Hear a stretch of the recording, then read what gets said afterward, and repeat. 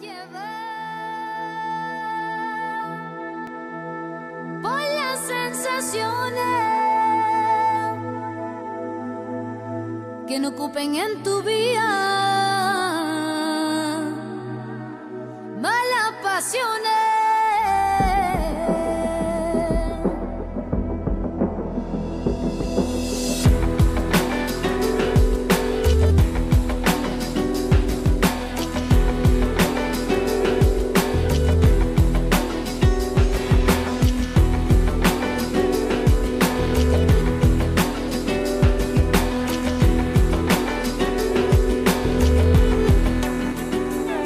de esa pregunta que te haces sin